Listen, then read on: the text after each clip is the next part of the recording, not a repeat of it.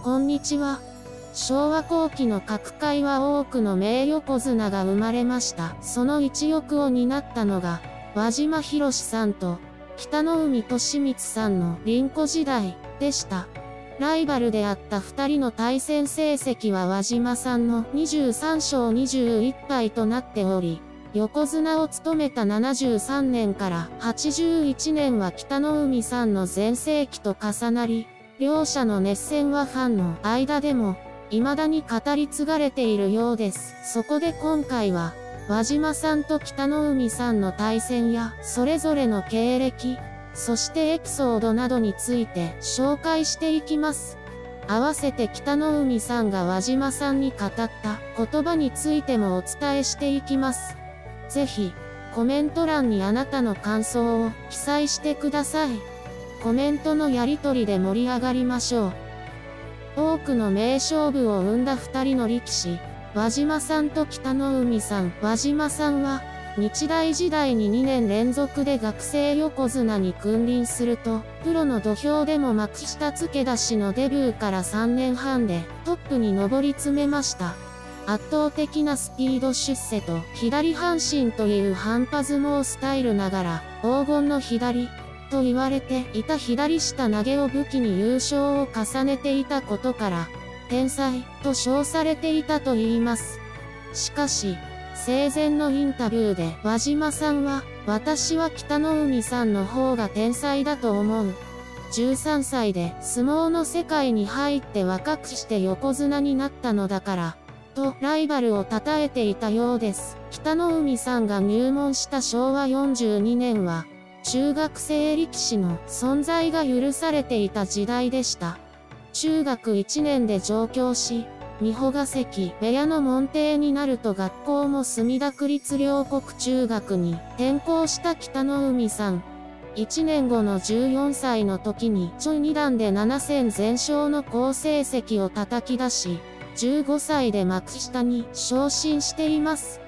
この記録は今後も破られることのない若年記録で、21歳2ヶ月での横綱昇進は現在も破られていない史上最年少記録です。北の海さんにとって、先輩横綱だった輪島さんは最高の敵手だったと言います。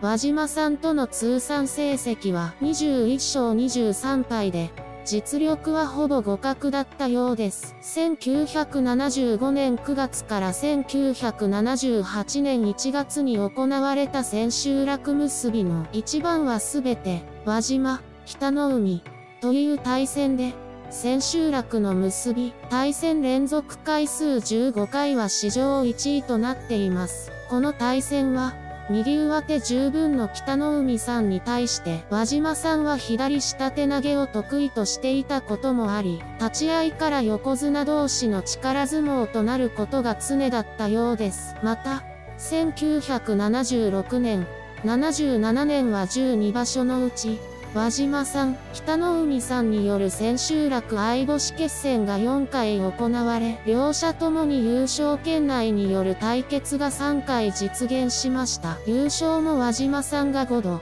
北の海さんも5度と、実力は相変わらず互角で、相撲ファンの間では、この時代が真の凛子時代だとも言われているようです。両者の対戦は44回実現し、千秋楽結びの一番の対決は、史上2位の22回。千秋楽両者優勝圏内の対戦が8回、水入りが3回と多くの名勝負を繰り広げました。ライバルでもあり、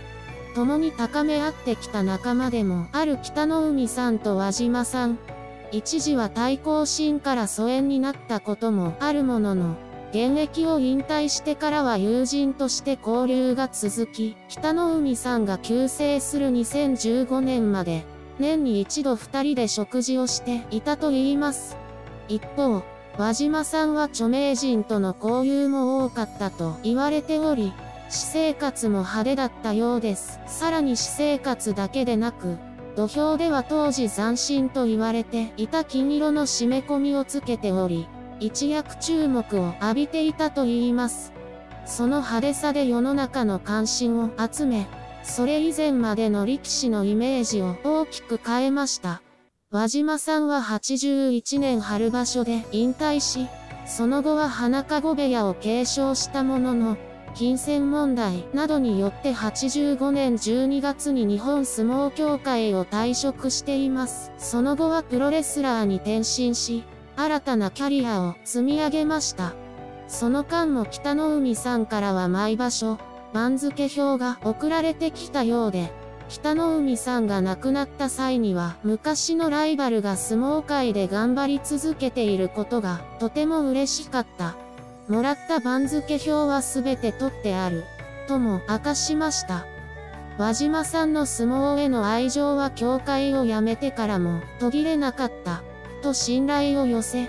なんとか自由に国技館に出入りできるようにしたいんだけど、なかなか、と各界復帰に奔走していたという北の海さん。輪島さんは左、と言われるけど、あれは違う。右の押っつけの方が強烈だった。